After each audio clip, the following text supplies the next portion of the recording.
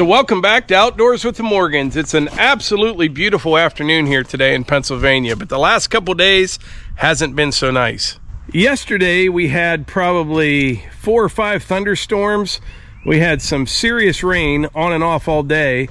And then this morning, uh, it was pretty much just overcast and cloudy all day. Well, I came down here to the wood yard and I wasn't uh, overly impressed with my fill that I put in here. I thought I had it tracked in pretty well, but it was really dry when I put it in and all that rain, it just wasn't real firm.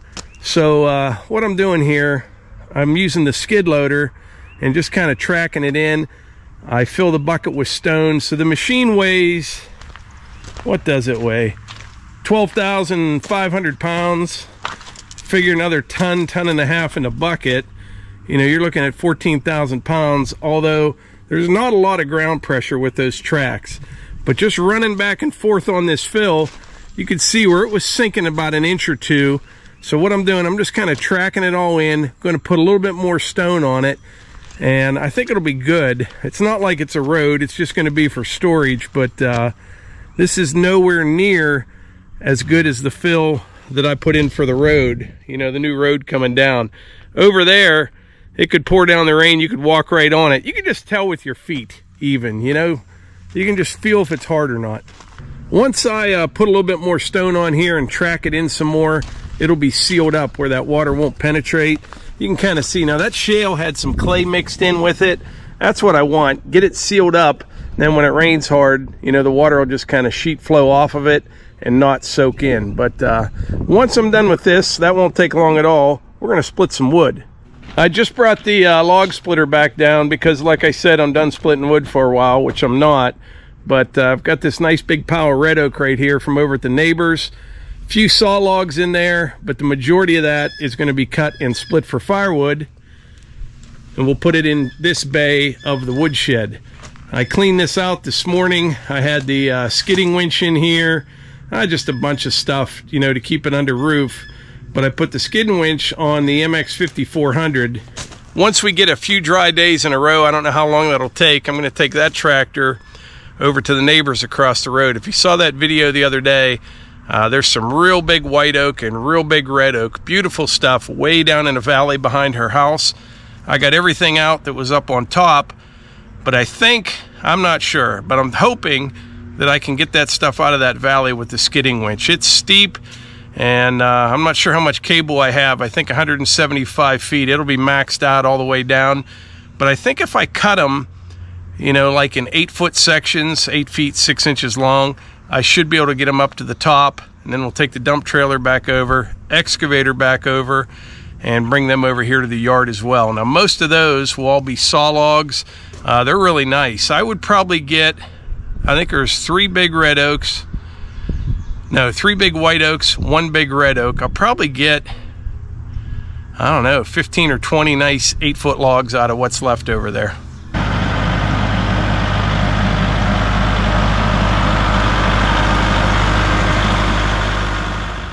So Melissa just brought me a few uh, 4x4s down. I'm going to use them over by where I'm cutting wood. I'll just lay my logs on those to uh, keep them out of the dirt. But it turned out to be a pretty nice day, didn't it? Has been. It's beautiful.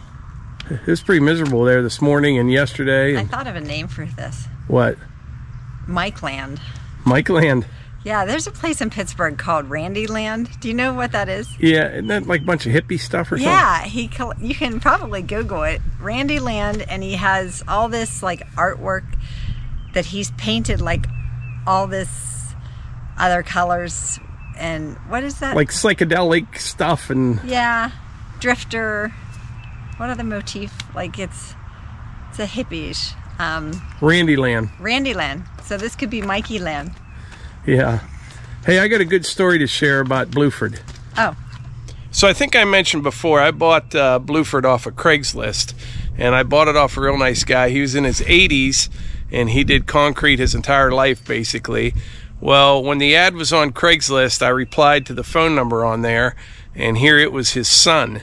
And I don't know how old his son is, never met him or anything like that. And I only talked to him once, he then, once he knew I was interested, he gave me his dad's phone number, and then I worked everything out with his dad. Well, I never told his dad anything about our YouTube channel or anything like that. So last night, I texted a video to the son and said, Hey, my name's Mike. I'm the guy that bought your dad's old dump truck. I thought he might get a kick out of this. So I sent him one of the videos, and the kid, he was blown away. He was amazed. And he said that truck brings back so many memories from when he was a kid. Because keep in mind, his dad had it 48 years and uh, anyway, he said he's going to show it to his dad. He's sure he'll love it. But he said he's probably looking at a couple hour conversation explaining how YouTube is and what's going on. But I said, just tell him Blueford is becoming kind of famous, you know. That's so, right. So I thought that's pretty cool. He'll be able to see his old truck on videos and stuff. So And I be learned a lot about Perfect Circle. perfect circle. Yeah, the mud flaps, perfect circle. Uh, there's a guy just commented today that he worked for that company for 38 years. Somebody else lives near that company. Uh, but yeah, that's pretty cool. And perfect circle, I think they invented. Somebody said this in the comments. Uh, cruise control, I believe, Wow. of all things. How about that? But anyway, better get back to work.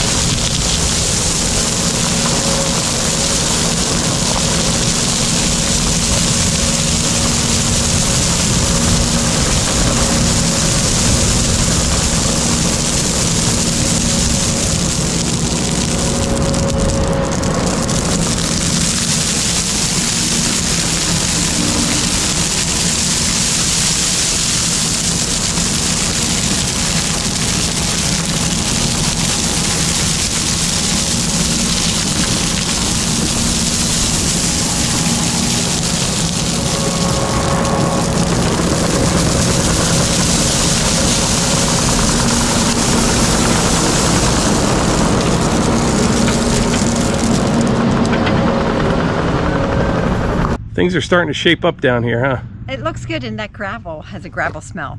It does. It smells like limestone. It does. I'm like running cameras going, yep, it's wet limestone. Yeah. Not too bad. I like the smell of your lumber and the soil. Yeah, topsoil smells great. It does. Has a rich smell. But I'm gonna run up the house, check on Hunter, start dinner, and um, I got a huge order of hoodies. We got some new hoodies. Go to outdoorswithmorgans.com store, check them out, and uh, Hey, I'll put a link in the description. yeah, thanks so much. All right, I'll be up a little bit to eat.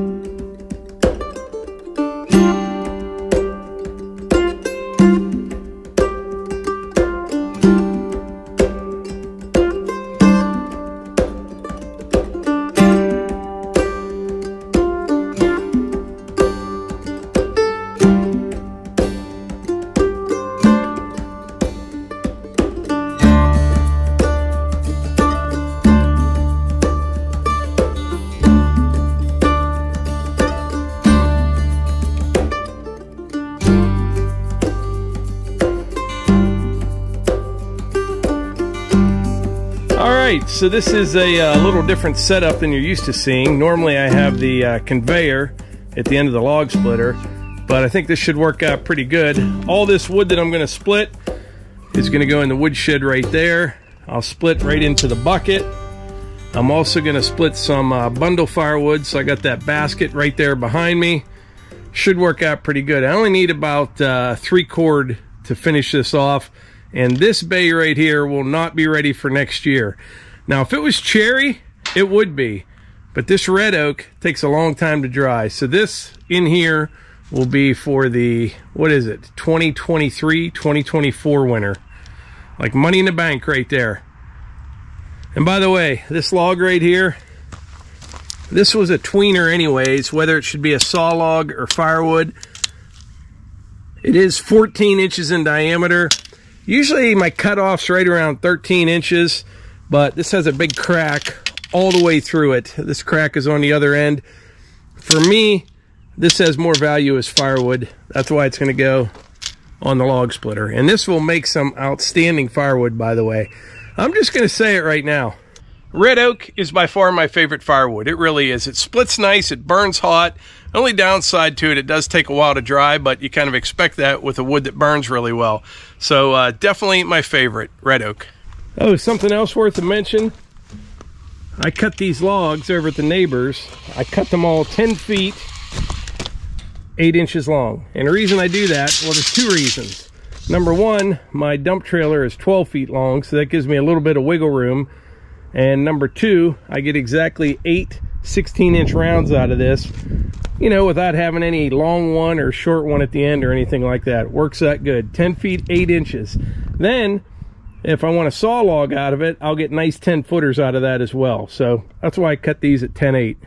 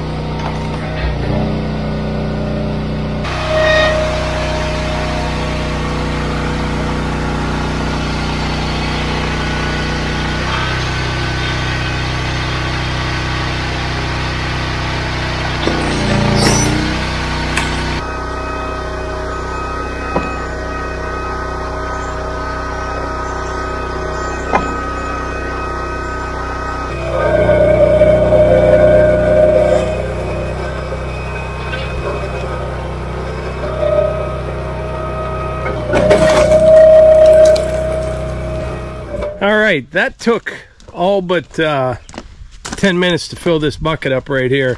But that red oak, man, that is some nice stuff. That really is. Splits so nice. Burns great. My favorite firewood. Well, Melissa just called, so I think I'm going to wrap this video up and go up and eat dinner. Uh, tomorrow, hopefully, Levi and I will get this woodshed filled up. And then I think tomorrow afternoon, it may rain some more. So before it does that, hopefully move some more dirt. But things are coming together down here at the wood yard. But anyway, I appreciate y'all being here, and I'll catch you on the next one.